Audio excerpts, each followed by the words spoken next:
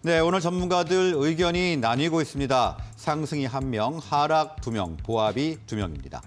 먼저 이데일리온의 서영원 전문가 보합권장 예상하면서 호텔 신라에 관심을 가지고 있습니다. AJ 인베스트먼트의 이재규 대표 하락장 전망하면서 실리콘2에 주목하고 있고요. 이데일리온의 명승부사 전문가는 역시 하락장 예상하면서 코덱스 인버스에 관심 가지고 있습니다. 다울투자증권 이성웅 차장 보합권장 예상하며 IS 동서 관심주로 꼽았습니다. 네, 바로 자산운영의 윤정식 이사는 상승장 예상하면서 항공주에 관심을 가지고 있습니다. 자, 그럼 두 분과 함께 화상으로 이야기 나눠보도록 하겠습니다. 이데일리온의 서영원 전문가, AJ 인베스트먼트의 이재규 대표 연결돼 있습니다. 자, 두 분 나와 계신가요? 안녕하세요. 네, 안녕하십니까. 자, 먼저 서영원 전문가님, 어, 박스권 장세가 좀 길어지는 것 같습니다. 어떤 전략 준비를 하면 좋을까요? 네, 맞습니다. 사실 박스권이 하단이 이탈될 가능성도 있었습니다만 다행히 2,400선은 좀 지지를 해주면서 우리나라 시장은 좀 연휴에 들어갔었는데요. 그 연휴 기간 동안 미국 증시는 조금 부진한 모습들을 보였으나 어, 중화권 중심, 중심으로 한 아시아 증시는 좀 강세를 보였다라는 점이 우리나라 시장의 좀 보합권 흐름들을 이어갈 가능성이 높다라고 좀 판단을 하고 있습니다. 전일 미국 증시 같은 경우에는 뭐 홍콩 증시의 급등으로 인해서 상승 출발을 했습니다만 어, ISM 제조업 지표가 어, 에서 특히나 가격 지수가 큰 상승을 했다라는 점에서 다시 한번 인플레이션을 좀 자극을 했다라고 볼 수 있겠습니다. 그로 인해서 국채 금리가 이제 4%를 넘어가는 어, 그런 모습들을 보였다라고 보실 수 있겠고 그로 인한 혼조세가 이어졌다라고 볼 수 있을 텐데요. 하지만 우리가 연휴 기간 동안 중국의 어, 증시 어, 상해와 홍콩 증시를 좀 체크를 해볼 필요가 있지 않을까 싶은데요. 어, 중국에서 발표한 국가통계에서 발표한 아, 제조업 지표 PMI 제조업 지표가 어, 전월 대비 2.5% 상승한 52.6포인트를 발표를 하면서 어, 상당히 좀 개선된 흐름들을 보였습니다. 중국의 제조업이 살아있다라는 것은 우리나라 시장에서는 뭐 무역에 가장 큰 역할을 하는 어, 기업이 나라인 만큼 어, 한국 증시에는 좀 긍정적인 영향을 미칠 것으로 예상을 하고 있고요. 어, 한국 증시는 3일절로 인해서 어, 중화권 증시의 상승을 좀 반영하지 못했기 때문에 어, 오히려 좀 상승 출발을 하지 않을까라고 생각을 하고 있습니다. 그렇지만 미국 증시의 상승폭이 좀 제한됐다는 점을 감안해 본다라면 뭐 기술주들은 조금 약세 보일 가능성이 높기 때문에 업종별 순환매를 좀 대응하시는 게 좋지 않을까라는 생각을 하고 있고요. 어, 특히나 중국과 관련해서 움직일 수 있는 종목인 게임주라든가 어, 중국 소비주 쪽에 대해서 어, 좀 전략적으로 좀 접근을 하신다라면 어, 시장 대응에 있어서 크게 무리 없이 가능할 것이다라고 말씀을 좀 드릴 수 있겠습니다. 네, 오늘 장 상승 출발로 예상을 하시면서 업종별 순환매 전망을 해주셨습니다. 자, 다음은 이재규 대표님. 자, 이번 주말에 중국에서 양회가 열립니다. 아무래도 양회에 대한 좀 기대감이 좀 일고 있는 것 같은데 어떻게 전략을 좀 가져가면 좋을까요? 네, 어제 미국에서 PMI가 나왔는데 뭐 예상치를 훌쩍 넘어서면서 굉장히 긍정적인 흐름을 좀 보였습니다. 뭐 새벽에 마감된 미증시가 하락 마감하면서 어 뭐 우리나라 입장에서는 호재와 악재가 공존하고 있는 상황인데 어 지금 환율 같은 경우도 굉장히 가파르게 내려오고 있는 상황이고 환율이 더 올라가기에도 좀 부담이 되는 상황이기 때문에 우리나라 시장 같은 경우는 어떻게 보면 어느 정도의 하반 경직을 보일 가능성이 높다라고 보고 있습니다. 시장이 어느 정도 하락을 하더라도 낙폭 자체가 제한될 가능성이 높고 방금 전에 말씀하셨던 것처럼 이제 중국에서 연례 최대 정치 행사라고 할 수 있는 양회가 진행이 될 텐데 이 양회에서 뭐 지금 시장에서 예상하기로는 뭐 내수 진작이라든지 경기 부양책이 나올 가능성이 굉장히 높다라고 합니다.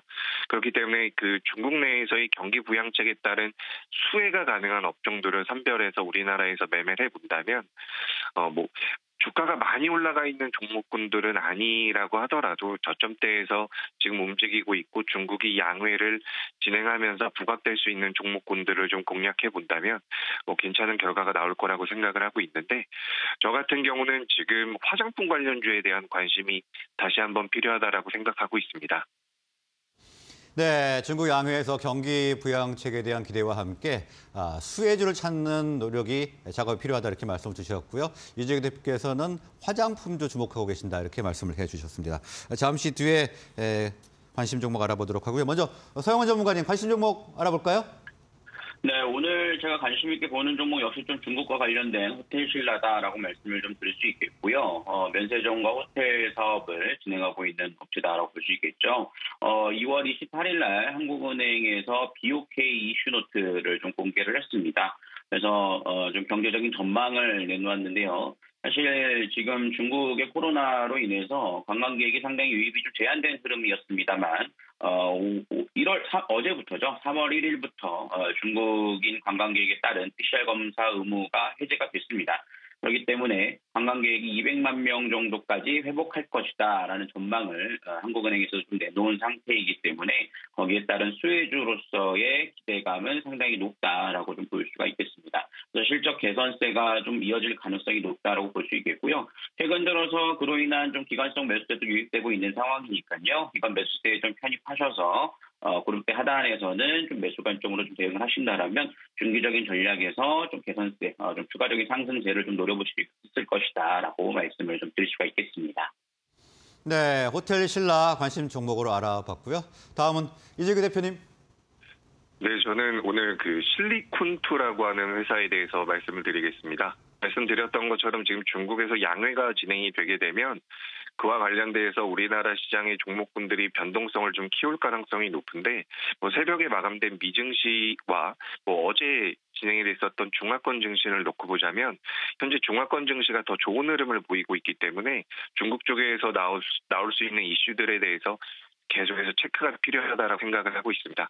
그 중에서는 이제 양의에 관련돼서 이제 내수 진작이나 경기 부양책 여러 가지 내용들이 나올 텐데 우리나라 같은 경우는 어쨌든 중국 쪽에서 어, 중국 쪽에서 호재가 생기게 된다면 화장품 관련주들이 곧잘 움직이곤 합니다. 이 실리콘투라는 기업은 2002년도에 설립이 됐는데 2012년부터 이제 K-뷰티 사업을 진행을 하고 있죠.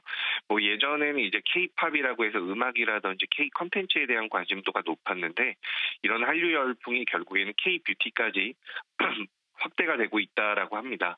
특히 이제 작년에 블랙 프라이데이라든지 사이버 먼데이에서 미국의 아마존 뷰티 카테고리에서 우리나라 K 뷰티 브랜드가 상위권을 차지했다라고 하죠. 그래서 실리콘투 같은 경우는 전 세계 약 150여 개 국가에 뭐 역직구 판매라든지 기업 고객을 통해서 수출을 진행하고 있는 기업인데 중국 쪽에서의 메리트도 굉장히 큰 상황입니다. 그렇기 때문에 뭐, 뭐 해외 수출 국가가 다변화되고 있고 브랜드도 계속해서 계속해서 늘어나고 있는 부분이기 때문에 최근 뭐 화장품 관련주들이 한번 시세가 나왔다가 어느 정도 조정을 받고 있음에도 불구하고 실리콘투 같은 경우는 계속해서 견조한 모습을 보이고 있기 때문에 다른 기업들에 비해서 좀 더 탄력적으로 움직일 가능성이 높다라고 보고 있습니다.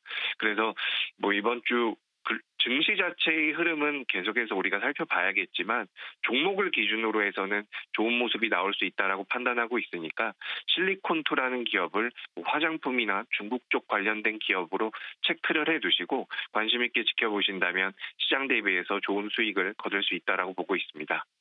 네, 중국 관련 화장품 업체 실리콘2 오늘 관심 종목으로 분석을 해주셨습니다. 자, 오늘 퍼스문 여기까지 듣겠습니다. 두 분 수고하셨습니다. 네, 감사합니다.